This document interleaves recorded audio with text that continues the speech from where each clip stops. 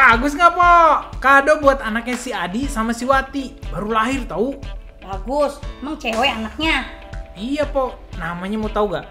Cakrawala di kala sanubari berbicara. Huh? mantep gak tuh? Ya elah, kenapa begitu amat nama anaknya kayak judul film? Ya, yeah, itu namanya kekinian, Po. Po. Udah ayo, bikin lumpia penikmat senja.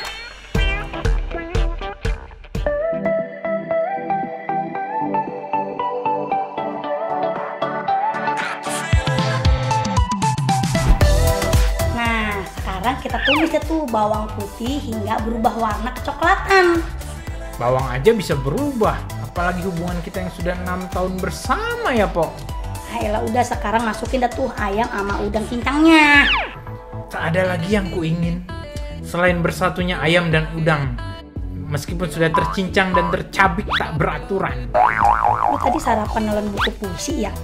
Sama cahaya mataharinya? Ah elah ngaco lu ngomong. Ye, kan anak kekinian, Po. po. Udah, udah, udah terusin dah. Entah kamu lu masukin dah no.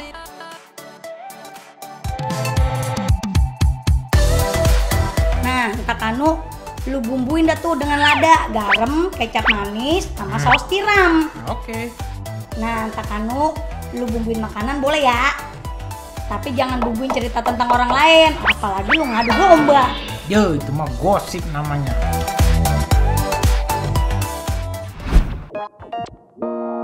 Nah, ini namanya kulit lumpia.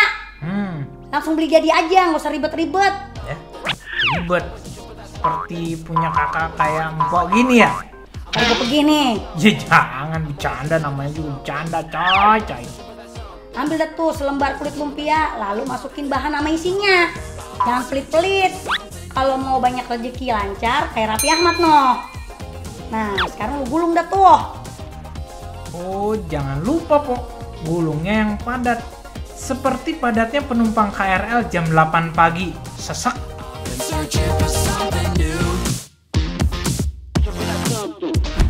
Biasa dah tuh, panasin minyaknya.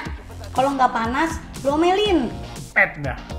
Panasnya minyak tidak akan sepanas ketika aku melihat dia menikah dengan sahabatku sendiri po.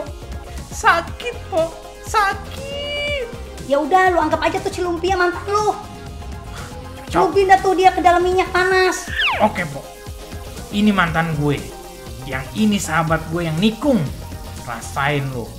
Gue masukin semua ke minyak panas. Tapi jangan lupa diangkat, nanti gosong malah gua yang rugi. Nah, kita mau bikin bahan cocolannya nih. Biar saling melengkapi kayak mantan lo, no, sama sahabat lo. Nah, Po blender dah tuh air sama si cabe. Andai saja ada alat seperti ini untuk mempersatukan ihsan manusia. Tentunya Marsha Arwan dan Erumi tidak akan putus di tengah jalan, tapi di pinggir. Nah, takano kalau udah kecampur lu panasin dah tuh si kompor. Nah, lu masukin dah tuh garam dan sedikit kecap ikan. Ah, sedikit aja kayak pengorbanan lu buat dia noh noh noh noh yang kebanyakan terus lu nyesel dah sekarang Beuh, mantap. Udah mendidih nih, Po. Kayak otak gue. Kameramen, kalau lo bikin cakep nih gambar, gua bagi lu lumpianya. Asli.